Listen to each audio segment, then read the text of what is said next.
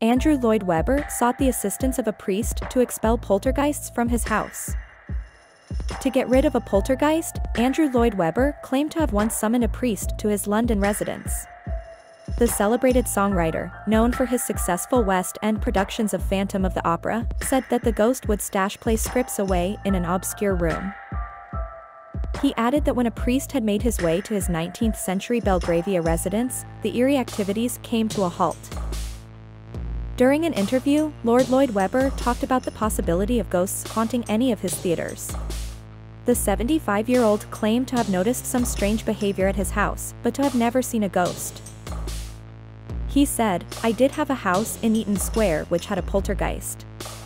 It would do things like take theater scripts and put them in a neat pile in some obscure room. In the end we had to get a priest to come and bless it, and it left.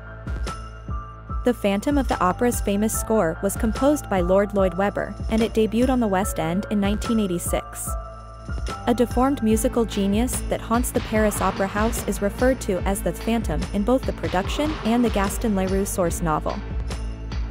He wrote the music for several well-known musicals, such as Joseph and the Amazing Technicolor Dreamcoat, Jesus Christ Superstar, and Cats.